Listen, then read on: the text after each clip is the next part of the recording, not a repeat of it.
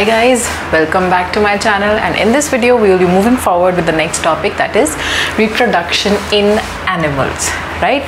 So the first thing that we'll be studying in the reproduction in case of animals is their systems right? So our main focus will be the male reproductive system and the female reproductive system. And after studying these two we will be studying how the fertilization process takes place right? That means how the process of the fusion of the male and female gametes takes place so in the previous video in which I have mainly mainly on हमने पिछली video में भी देखा होगा हमने सिर्फ़ focus किया है fertilization in plants right flowering plants में कैसे फ्लावर्स में स्टिग्मा uh, से के थ्रू पोलन ट्यूब फॉर्म होती है स्टिग्मा से नीचे स्टाइल के थ्रू वो होते हुए कहाँ जाती है? Ovary then male gametes female gametes how are fusing and eight nuclei होता है embryo sac three antipodal cells two polar nuclei, synergids, egg, everything given in those videos. So you can go and watch that.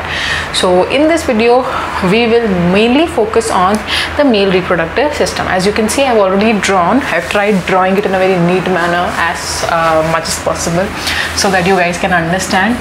But now let's get started so this is the best I could do because I'm not very good at uh, drawing so uh, let's start now what happened first of all if we are studying about the male reproductive system then first of all we need to see we need to understand all the parts right? This is the outer part that I have drawn okay? This is the outer part and this part right? This portion is the inner portion. This portion is the inner portion. That means inside that part what is happening? That is shown. Okay so this is the bladder okay then this one is urethra this tube like structure. This is also urethra this tube like structure then this is the penis. And after that this is the testis. This is tes tis because here only one can be seen but actually there are two present. So there will be tes tes testes plural is testes and singular is testis okay? And it is present scrotum sac like structure. Then through this epididymis okay? Then this portion is referred to as the vas deferens okay then this gland is prostate gland and this gland is the seminal vesicle right? So these are the all the organs all the parts of the male reproductive system. Now let's get started. So what happens? First of all all this is present in, in the inside portion of the body. But what happens in case of human males? These testes these are basically present outside the body right? These testes this is actually two in number so they will be t e s t e s. Testes will be the spelling. So there are two in number. Right? That means one pair of testes is present and they are present in a sac like structure. This sac like structure is known as the scrotum or it can also be called as the scrotal sacs. Okay? They are also called as the scrotal sacs. So what happens now you should ask that why are these present outside the body of the human? And why not inside right so the reason behind is that testis produces sperms ठीक है sperms जो भी होते हैं sperms are the male gametes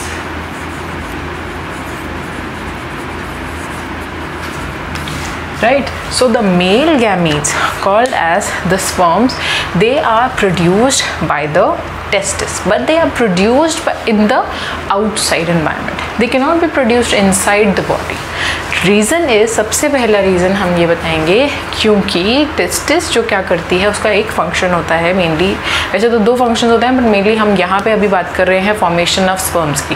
वैसे testis का क्या function होता है?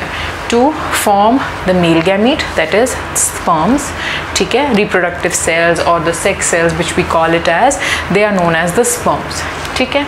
और इसका सेकेंड फ़ंक्शन ये होता है कि basically the second function is that it helps in the process of uh, formation of the male sex hormone called as the testosterone ठीक है अब टेस्टोस्टेरॉन की जो फॉर्मेशन होती है वो भी टेस्टिस में होती है और स्पर्म्स की फॉर्मेशन होती है वो भी टेस्टिस में होती है लेकिन इसका मेन रोल है कि जो स्पर्म्स हैं वो बॉडी के अंदर फॉर्म नहीं हो पाते why? Because they require 2 to 4 degrees celsius less than the body temperature to be formed. जो भी स्पर्म्स होते हैं, उनको फॉर्मेशन के लिए क्या चाहिए होता है? अपनी हमारी बॉडी के टेम्परेचर से two to four degree Celsius less इतना टेम्परेचर होने की वजह से ही हमारे स्पर्म्स बन पाते हैं। So for that that is the reason why the testis is present in the outer body ठीक है? बॉडी के बाहर प्रेजेंट होता है in a sac like structure called as scrotum ठीक है? अब दो फॉर्मेशन हमने बता दी। एक होता है मेल गैमीट्स क्या मतलब? स्पॉम्स की फॉर्मेशन कौन कराती है? टेस्टिस और एक फीमेल एक male hormone called as the testosterone ठीक है? दोनों का फॉर्मेशन कहाँ हो रहा होता है? टेस्टिस में. लेकिन जो स्पॉम्स की फॉर्मेशन है प्रोडक्शन के लिए प्रोड्यूस करने के लिए स्पॉम्स को हमें चाहिए टेम्परेचर बॉडी से two to four degree Celsius कम. तो इसलिए ये बाहर प्रेजेंट होता है। अब ये जो हमने डॉटेड स्ट्रक्चर बनाए हैं these are obviously these are the sperms अब यहाँ पे स्पर्म का formation take place the sperm formation is taking place here now what is happening these sperms they get stored inside the epididymis right ये जितने भी sperms हैं, ये यहाँ पे बनने के बाद कहाँ पे स्टोर होते हैं? Temporarily in the epididymis epididymis में स्टोर होने के बाद अब क्या होगा? Epididymis will take this to a tube which what is that tube this tube is known as the sperm duct और वास डिफरेंस अब यहाँ से स्पर्म्स प्रोड्यूस होने के बाद एपिडाइडमस में चले गए, यहाँ टेम्प्रेरी स्टोर हुए एंड उसके बाद they will be carry forward to the tube like structure called as the vas deferens तो ये ट्यूब लाइक स्ट्रक्चर जो यहाँ से यहाँ जा रही है this is the vas deferens और इट कैन ऑल्सो भी called as the sperm duct अब ये यहाँ चलिए, अब क्या होगा? स्पॉन्ग डक्ट यहाँ पे हमने बोला है ये ट्यूब को। अब ये यहाँ आके रुक जाएँगे हम।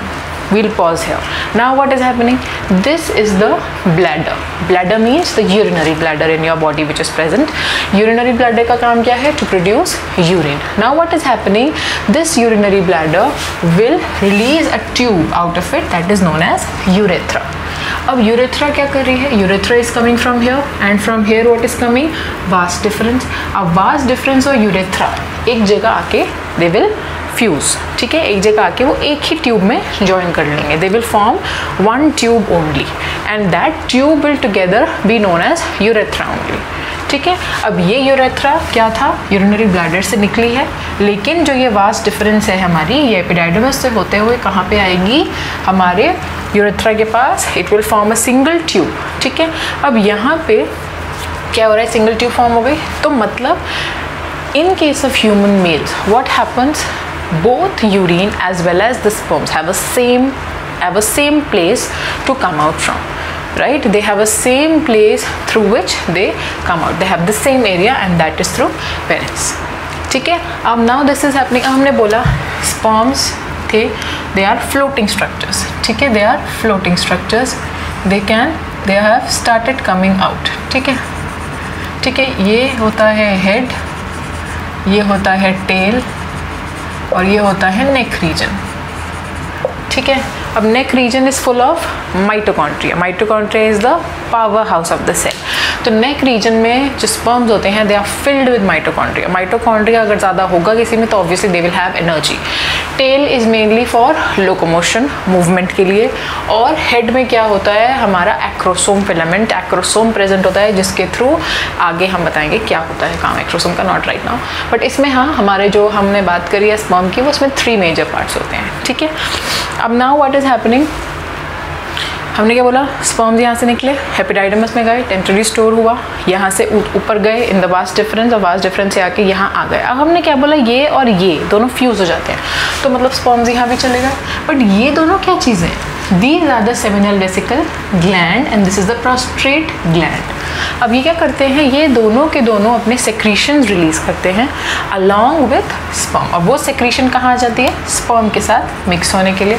Now when they get mixed with the sperm so sperms along with the secretions of the seminal vesicle as well as the prostate gland they will form semen ठीक है? It will lead to the formation of semen now these both glands they are releasing certain secretions which help in providing nourishment right and also providing fluidity to those sperms right so nourishment and fluidity कौन provide कर रहा है seminal vesicle and prostate gland तो अब ये सब होने के बाद अब यहाँ से एक कॉमन पैसेज हो जाएगा now what is that passage the urine as well as the sperms they will not together obviously but they whenever wherever the timing is there if the urine has to come it will also come out through the same way and the sperms will also come out through the same way and this is Paris.